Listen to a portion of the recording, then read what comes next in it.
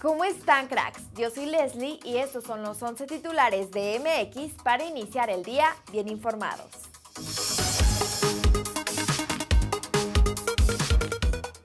América buscó quitarle la suspensión a Sebastián Cáceres, que salió expulsado frente a Toluca, pero la comisión disciplinaria no aceptó la inconformidad de las Águilas y el defensa se perderá el Clásico Nacional como castigo.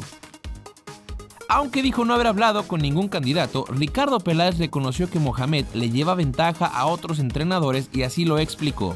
Lo conozco a Mohamed, es un técnico que lleva ventaja porque lo conozco, pero de ahí en más no hay nadie, no ha habido comunicación con nadie, dijo Peláez a TUDN. El ex propietario del Veracruz, Fidel Curi, fue detenido por el presunto delito de fraude. Esto debido a que había incumplido con el pago de un préstamo de 120 millones de pesos que le hizo TV Azteca para salvar a los tiburones del descenso en el 2019 luego de que cuatro hombres con camisetas del América presuntamente mataran a golpes a otro aficionado en Filadelfia el pasado miércoles, dos de ellos decidieron entregarse a las autoridades. Los otros dos presuntos culpables siguen sin aparecer. El delantero mexicano Luca Martínez Dupuy le dio la victoria a Rosario Central sobre San Lorenzo con este gol. El nacido en San Luis Potosí de 20 años entró al minuto 33 y anotó el 1 por 0 definitivo al 85.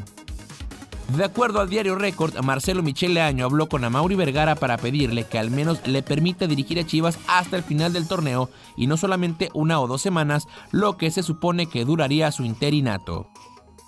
Pese a que en la Ciudad de México el aforo permitido para estadios es del 75%, la directiva del América planea usar solamente el 50% del Azteca en el Clásico Nacional. Esto como una medida de precaución para proteger a los asistentes, reporta ESPN. El delantero brasileño Pedro Raúl Garay da Silva, que proviene del Kashiwa Reysol de Japón, es nuevo refuerzo de los Bravos de Juárez. Para poder hacer este fichaje, Juárez dio de baja al chileno Luis Alberto Pávez. Luego de su doblete contra el Austin FC que le dio la victoria a su equipo, Javier Eduardo López fue elegido como el jugador de la semana en la MLS. Chofis llegó a 10 goles en la temporada con el San José.